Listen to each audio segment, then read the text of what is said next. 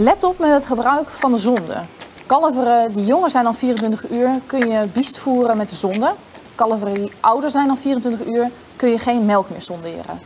Mocht je wel een kalf hebben wat niet wil drinken, die je wel vocht wil toedienen, vul dan de zonde met water of eventueel elektrolytenmix.